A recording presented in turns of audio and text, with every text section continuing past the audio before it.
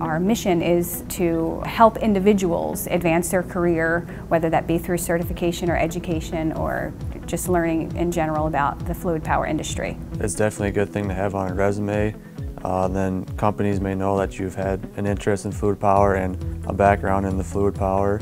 The certification process through IFPS has been valuable to me in terms of giving me the background information for systems that I may not have had firsthand experience with or the in-depth knowledge of so that when I'm working with a customer I can sit across the table from them and have that in-depth discussion with them from the very beginning. The IFPS certification is valuable because there's a number of, for a number of reasons, uh, particularly individuals get an opportunity to learn more about fluid power.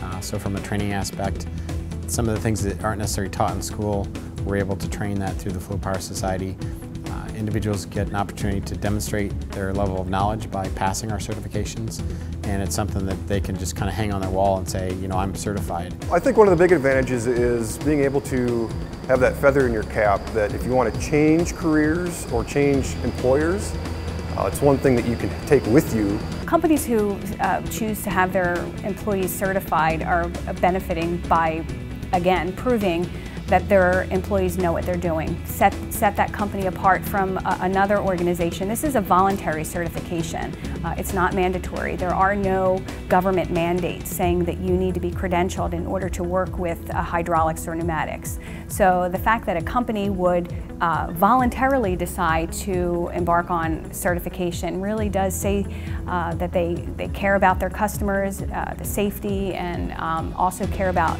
fluid power technology. The industry benefits from having engineers like myself certified by uh, being able to pull in a large pool of knowledge.